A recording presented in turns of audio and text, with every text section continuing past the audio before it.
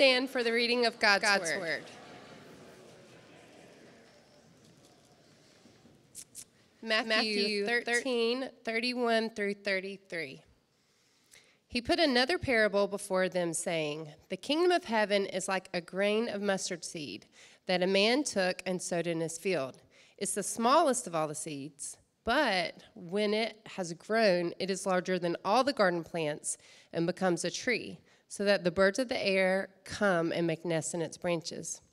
He told them another parable. The kingdom of heaven is like leaven that a woman took and hid in three measures of flour till it was all leavened. This is the word of our Lord. Seated.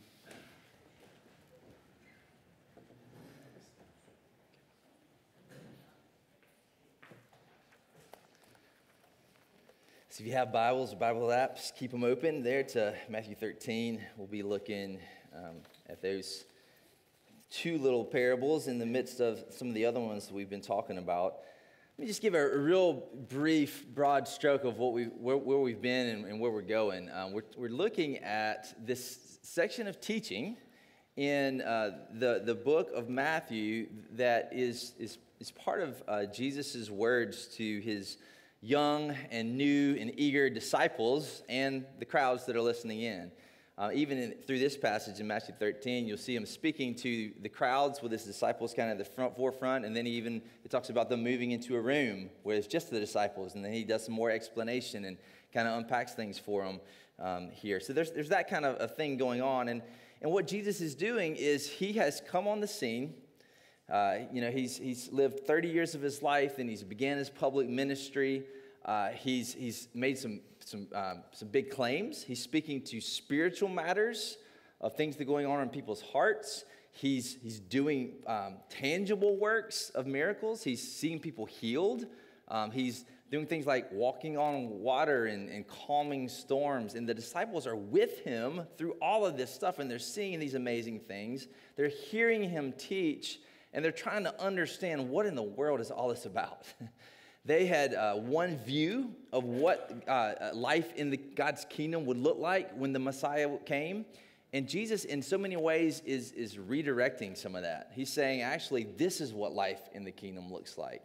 And these parables are given to us, these stories are given to us to help um, drive home at least one main point that, that, that pierces our hearts, that gets past our outer defenses and really speaks to us on the, the, the deepest parts to change us, to cause some sort of action.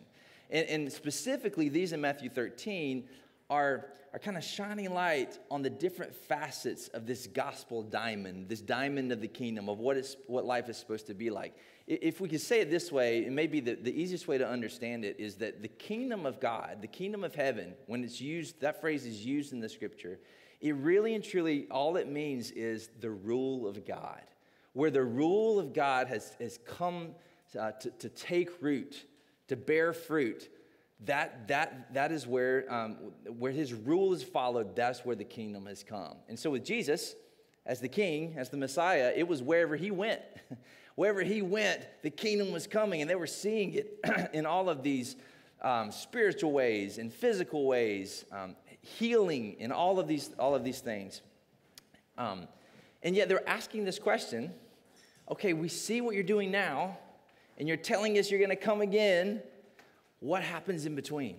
What life can we expect, um, you, know, you know, in this in between life? If the disciples, uh, once they saw Jesus crucified and then celebrated him being resurrected and then saw him ascended, uh, they would, would call to memory the teachings that we have recorded for us in these gospel books Matthew, Mark, Luke, and John. And they would share them with one another, and they were like, you know, he told us why he was here, what we could expect. And now, us, 2,000 years later, are asking the same questions. God, we know you came in Jesus 2,000 years ago, and you did this unbelievable thing of accomplishing salvation for us. And we have your promises that you're coming again one day to complete the work. And yet, what we see in front of us right now is an absolute mess. How are we to live in between your first coming and your second coming? And so we can go to the same place the disciples went. We can go back to his words, his teachings, where he actually gives us the keys to that. He says, Look, this is what it's going to be like. This is what you can expect. And just like for them, it was different than the, what their perceptions were. It was a new normal, is what he's describing for us. It's going to be the same for us. Our world, you know, the world that we grow up in, kind of tells us what we can expect. What is the normal? And Jesus over and over redirects that. He says, No, no, no, no. You say, you've heard it said, but I say to you. And that's what he's doing here again in these kingdom parables. So, what we've talked about the last two weeks is it's, it's got a flow to it. His teaching's got it builds on, on one another. He talked the first week about the sower, the parable of the sower. And the main message of that parable was there's going to be all kinds of challenges for the kingdom word to go out. And yet, the surprising thing about it is, in the midst of all of those challenges, it's going to be unbelievably fruitful. And so you start to think, well, okay, well, he says even in the midst of challenges, it's going to be fruitful, but man, when I look out, all I see is, is, is, is, chaos, and it seems like there's more weeds than there is wheat. There's more weeds than fruit. And he says, Well, let me tell you a story about that. And he tells them the story of the wheat and the weeds. And he says, It's, it's going to look like there's no one in control, and you're going to have the tendency to want to take control of things and figure things out on your own. And he said, You've got a calm and confident king who owns this field, who's not surprised by the schemes of the evil one, and there's going to be wheat and weed growing up together, but don't worry, trust me, it'll all be made right in the end. And in the middle of it all, I'm still king. I'm still sitting on my throne. And so then you say, okay, well, if there's going to be unbelievable fruit and yet it's going to be mixed, it's going to look mixed as it grows up together, then, then what does that kingdom look like for me? How, how can I get at it? What, what will it, uh, how will it work itself out? And that's where these two little parables come in. They're right in the middle of his telling the parable of the wheat and weeds and explaining it. He gives these two little parables right in the middle of it to kind of give some color, some other input and advice in the middle of it. And so here's what we're going to talk about today. The kingdom is extensive, it reaches into every place. It's intensive, it touches every part, and then it's upside down. It's going to cause us to rethink all that we thought was normal. So let's look at it very quickly this morning. First, the kingdom of God, as it grows up and bears this unbelievable fruit, even in the midst of what looks like chaos with a calm and confident king, it's going to be extensive. It's going to go out and touch and reach every place of God's great creation. Think about the disciples. They had no idea of what this small start with those 12 guys and their, their compatriots was going to grow into. That it was going to, this, re, this religion, this following this person of Jesus and, and the truth, the good news that he came to bring was going to spread to every part of the world.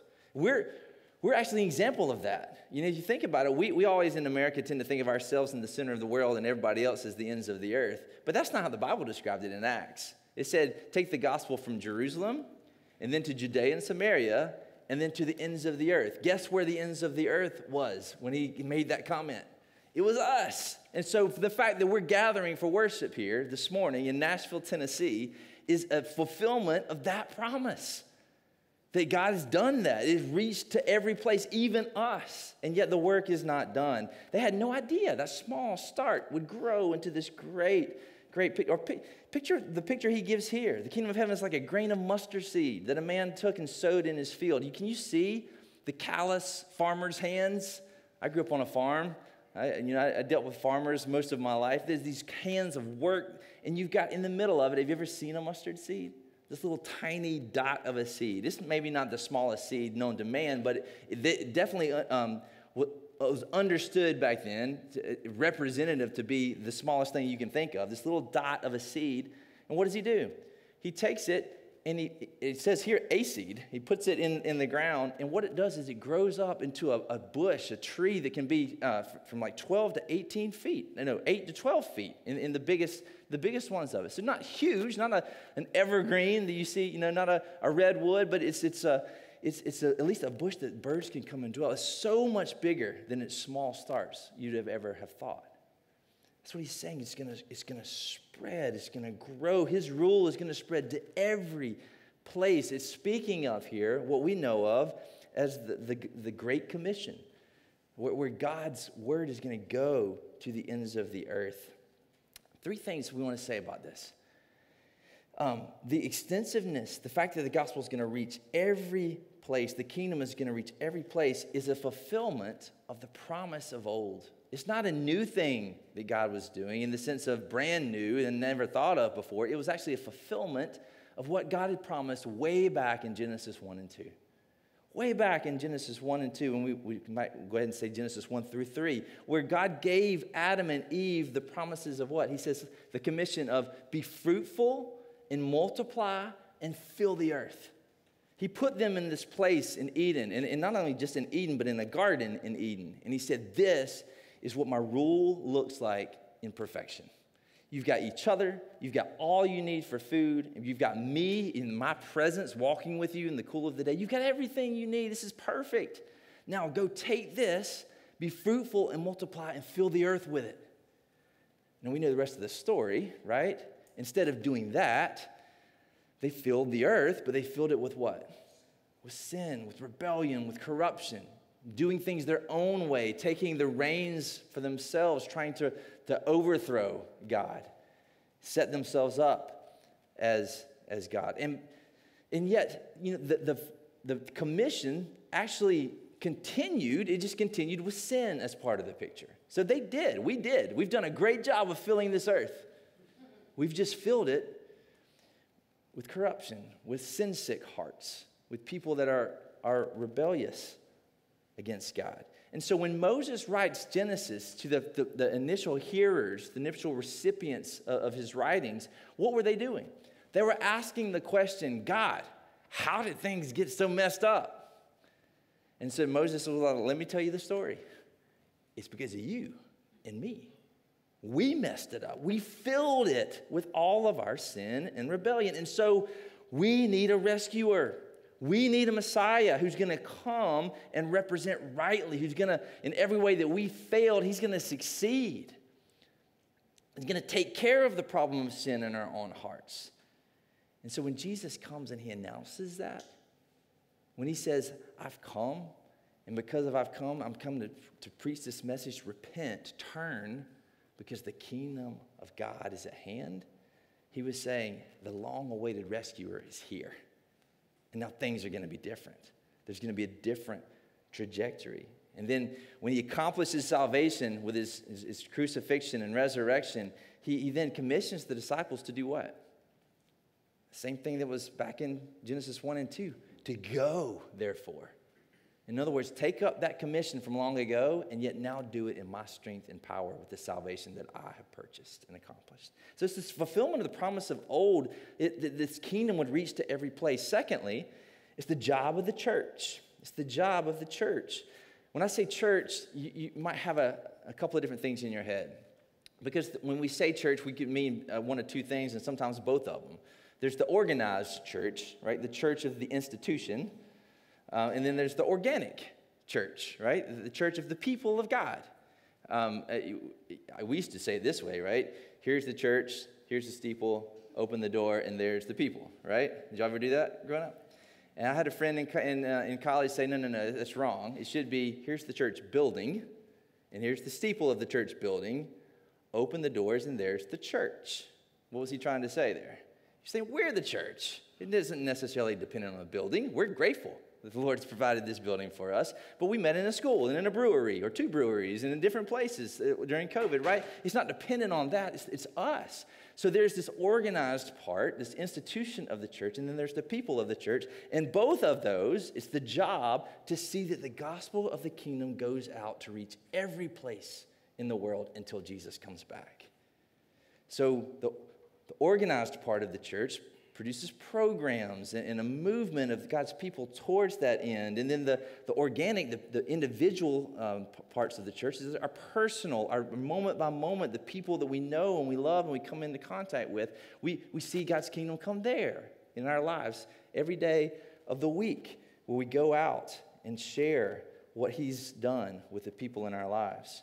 This is why we're so passionate about church planting because it's our our job until Jesus comes back to go put these equipping stations called churches in all parts of the world that can then equip the saints for ministry, the church for ministry, and send us out to go do kingdom work, to see his kingdom come as will be done on earth as it is in heaven. We're one example of that. we're a five year old uh, church plant, right? And, and our hope is to be involved in some way, some form or fashion, in other future church plants that will go to different parts of this city and beyond to do the same kind of thing, to see people come under God's gracious rule. And that's the third thing it leads to. There's the, it's a fulfillment of the promise, it's the job of the church. But it's also, uh, and this point speaks to, it's a mission, but it's a mission of conversion. Now, that word may or may not be associated with baggage for you. Uh, it was for me in many ways growing up. This idea of conversion, well, that's just what the church is about. They just want to, you know, proselytize people and convert them, and then they're gone. They pe- treat people like projects, not people, all that kind of stuff. Well, no matter if we've got baggage or not, this idea of conversion in the Bible is actually meant to be a good thing. At its heart, all it means is sharing the, the good news of the rule of the King of Kings and the Lord of Lords, that He has come, and that we have an opportunity now to submit to His good and gracious rule and be part of His eternal kingdom. I get to share about that this week with the junior high kids at the Edge conference. We get to, they, asked me to speak on as one of the seminars on how to share Jesus with your friends, and that's what we're going to talk about. We're going to talk about what that looks like and uh, there, you know, there's all these different parts of sharing this gospel message. There's, you got to know the gospel in order to share it, right? But you can't just share it, you know, just by itself. You've also got to show. You've got to demonstrate that it's affected your life. So there's a know and show part. And then you, you can't just do it on your own. You've got to be dependent upon the Lord. So there's prayer. You got to pray. But you can't just pray. You've also got to say something, right? You've got to You've got to speak. You've got to share words. And you've got to help people connect the dots of what the gospel, God's word says, and how that matters in real time to their life. And, and we tend to those different extremes. We, well, I'll just, I'll just, I like praying. I'll pray. And, and that's, that'll be my part. Well, no, we're also called to say. Or maybe you like saying, but you're trying to do it on your own strength, so you don't pray. Or maybe you like knowing a bunch, but you don't, your life doesn't show it a whole lot. You don't or maybe I would just write to show it, but you know, I don't want to have to study and actually learn it and know it. No, it takes all of those things in order to share, to, to be about the mission that God has called us to, to see God's kingdom reach every place. And it's, it's both global and it's local. Every street, every office, every gym, every school, I met these guys at this last week. I was at our denominational conference in Memphis, and I met these two guys. Uh, Jay Hager introduced me to them, and he said these guys have been a part of a couple of different church planting networks. And um, and then he, he, introduced one of the guys. He said this guy, I can't remember what country it was, um, but he's like he's planted 70 churches in his country, and I'm like, all right, we're still working on one. Uh, but this idea of like unbelievable fruit of the kingdom, 70 church, and he was younger than I was. And then this other guy was, was, um, was part of this church planting network in Atlanta, and he was telling me about how they plant churches. And he said, It's really not rocket science. We go to a church and we start prayer groups. And this group's praying on these days of the week, and then the leaders are getting together at this time and they're praying, and then everybody gets together at this time and we pray, and we pray and we pray and we pray, and then God starts a church. And I was like, wait, it's not that simple. And he's just like, no, it kind of is. We get together with a church, we create this, this, this culture of prayer. We believe that the gospel is going forth, that his kingdom is coming and it's changing people's lives, and we see people coming to know the Lord. And when there's a, gr- a big enough group of them, we start a church with them. And I was just reminded of how callous I get, how um, d- discouraged I get, how little I tend to believe that this is true, that the kingdom is extensive. This is part of God's plan, and He will do it.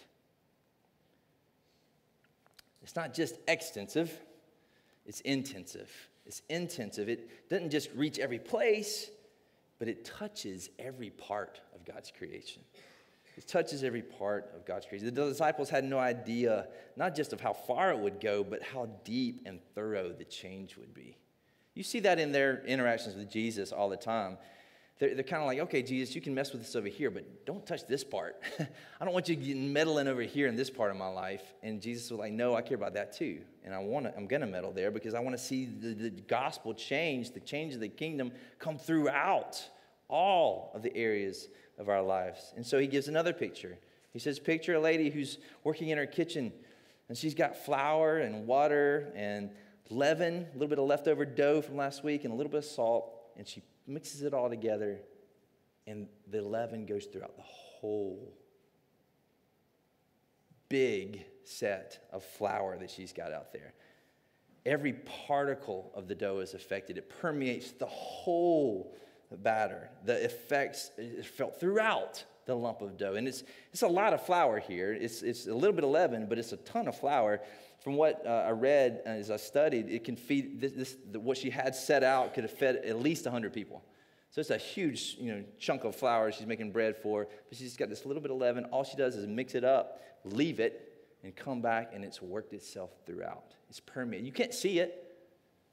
You don't, you don't see that it's there, but you feel the effects. You taste the effects of it. You see it as you cook the bread. That's what he's talking about. The kingdom is there's every part of God's word and his world is going to be affected by the kingdom as it goes forth. Again, these three things, it's, it's part of the promise of old. Not only is it's going to go to every place, but it's going to touch every part. The people of God, Adam and Eve, and the people that would go out to, to keep his commission in Genesis 1 and 2, were not only to go with, with, with the message of God, but they were to, to go with hearts changed by God. Um, they were to see the, the, the relationship with God work itself out in all the practices of their daily life and where they spent their time and, and, and how they did their job in all of these different areas of their life. And again, they, they were called to cultivate, to positivize, to take God's raw materials and, and grow it, uh, do even better than what was there um, as they were cultivating God's good creation. And yet, it's, as sin enters the world really quickly in Genesis, you see them taking their skills their, their gifts, the good things that God had given them, the raw materials, and instead of making uh, weapons for, I mean, uh, materials, items for cultivating, they were making weapons of war. So again, they're, they're, they're doing what we made to do, but they're just doing it with the corruption of sin. Instead of making items to cultivate God's creation, they're making weapons of war to, to fill the world with violence. And that's just showing us again that sin touches every part of our world. The structures are still good, God still made them, but we carry them in a, in a selfish, sinful direction instead of a Godward direction. And so God sets about from the promise of old to redeem his people. And in Isaiah 60, there's, a, there's this great picture in Isaiah 60 of these, um, these, these cultural artifacts, these cultural items known as the ships of Tarshish. All throughout the Old Testament, when the ships of Tarshish come up, they're always uh, the emblem of human pride. They, were, they would go out uh, afar and they'd bring back all of these, you know, gold and, um, you know, animals from other countries and all this kind of stuff so that they just like, look, we can go anywhere, we can do anything, look what we can do. It was the, the emblem of, of human pride. So in Isaiah 60, earlier in Isaiah, God has said to the people of God, when I come to make all things new, when I come to, to enact my, my final judgment, I'm going to devote the ships of Tarshish to destruction because they are the emblem of human pride. You've taken the good materials of God and you've used them for sinful purposes. But then in Isaiah 60, they show up again, and who's in them but the children of God that are being sped to the city of God? And you're like, how can he devote them to destruction? And yet they're showing up in the end, you know, in the end of all things, carrying the children of God to the city of God. Well, it's because that, that phrase, devote to destruction, means I'm going to break them of their sinful purposes that have been speeding people away from me, and I'm going to renew them, redeem them, reconcile them, and then use them for the purposes they were meant for in the first place to speed people to my presence, to the city of God. That's what Jesus is doing when he's announcing the kingdom. He's saying, look, the promise from Genesis 1 and 2 to fill the earth, to go to every place, and also to touch every part of my creation is now going to be fulfilled and come true because I'm here. I'm going to accomplish that salvation that's not just to see people come from death to life, to be spiritually awakened, although that's, that's a huge part of it, obviously, but then to, through their lives to touch every part of my world until I come and make all things new. It's the promise of, of old, and it's the job of the church The job of the church is to, to be about that, to see how the gospel of the kingdom touches every area of our lives and our neighborhoods and our world. There, there should be no stone unturned there. When a few years ago we had um, a, guy from a church in New York come and speak to us, and, and the, one of the things that stuck out of what he shared with us was that he said, "Hey, we, we talk a lot in church circles and in business circles of having a three-year vision." or um, a, a, you know, at least a, what, what are we going to do for the next 15 months or something like that. He said, I want to challenge you as the church to have a three generation vision. In other words, think three generations of, ahead and what would we want the nations to look like? Think three generations ahead and think about what we want the public school system to look like. Or whatever other area of culture, your job area, the music industry in Nashville, whatever you want to put in that, that, that, that blank there, because he said you got to have a three generation vision because it didn't take, you know, it didn't take a minute to get to the point of complexity and sinful corruption that we're in now. It took years. And God's kingdom is going to take root, but it's going to take generations of people being faithful to see some of the things in our world turn around and more and more reflect the God that created it. That's how long sometimes change can take. And yet, what other vehicle is equipped for it other than the church, who's got people from every tribe and tongue and nation, who's got people from every vocation and experience and background and gifting that could come together in a very real way, more than any other organization in the world, say, hey, let's put our heart and our hands to that and see what kind of gospel kingdom change could come if the Lord's in it in our lifetime. It's the promise of old, it's the job of the church. And then, thirdly, it's, it's not only a mission of conversion, like we talked about with the extensiveness of the kingdom, but it's a, it's a mission of transformation as well. Um, yes, God calls us from death to life, but He also calls us to change of life. Jesus cares about every area of our lives the boardroom, the backyard, the coffee shop. The kingdom of God, if it's at work, it'll change you. It'll root up and mess with every part of your life.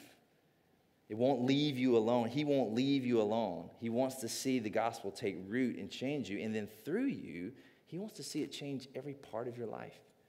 He wants to see your street look different. He wants to see your school look different. He wants to see the kingdom come, His will be done on earth as it is in heaven. That's where things are headed. So it's extensive and it's intensive. And then, thirdly, and really briefly, it's upside down. It's different than we think. The kingdom causes us to rethink what is normal. And there's at least these three things that come out of this passage. Um, and they're not rocket science, but they are revolutionary. If, if, we, if it takes root in our life, first is this waiting in the Christian life is normal. Waiting is normal. Change takes time. And that can be frustrating. Um, but if you want to see real change in an area of your life and, and in the area of the world, then because the kingdom comes gradually because it, it, comes slowly at times. At some point in your life, you're going to have to put down roots. You're going to have to stay somewhere long enough to see it through, to see the change come. There's a, a, documentary that we passed around when we first started the church called Godspeed. It's 20 minutes. You ought to look it up. You can watch it online anytime. And the, the short story is, is there's a, a, pastor who's about to graduate seminary, and he talks to one of his mentors, and he said, what should, Where should I look for a job? And he said, You need to go to St. Andrews, Scotland, and work there for a couple years. And he's like, What's in St. Andrews, Scotland? He said, Just go and you'll see. So he trusted this guy, he went. And what it was, was it was a small, slow Scottish community. And when he got there, he had his books and he went to the church and asked about his office. And the guy's like, What are you talking about, office? That's your office. And he said, What do you mean? He said, Well, I expect you to walk around and get to know everybody in our community. And just do it, show up, be faithful, and watch what God will do. And so that's what he did for his couple of years there. And the idea was that's Godspeed. It's, it's, it's one step at a time, one conversation at a time. You show up where God places you, you be faithful, and you see what he might do. That's how the kingdom comes. One person at a time, one conversation at a time, being faithful where He's placed you. You want to know what God's got for you? What His plan for your life is? Think about what your week ahead brings. Where's He going to take you this week? Who's He going to bring you in the path of them? That's what He's got for you. That's how He can use you to see His kingdom come and His will be done on earth as it is in heaven. So waiting is normal. Secondly, small beginnings are normal. Small beginnings are normal. Look, He's promised fruit, and we want to run to that. But small beginnings are what's normal. We could do all sorts of bells and whistles to draw a huge crowd to events. I'm sure some of you are great event planners. We, we could do a bunch of stuff to get um, bottoms in seats. But that, that's not what that's not what the gospel is about. The gospel is about seeing people's lives changed. And, and that's more than just filling up a room. That's engaging people in real conversations, in real, over long periods of time to see and help them connect the dots of what God's word has to say for their real problems. Because what the God's word says is not just a good idea that we think about on Sundays. It's, it's, it's, it's gospel for life to impact our daily lives. And that's the third thing is that transformation is normal. For the Christian, for those who believe that there's a real God who's really at work in the world, transformation is normal.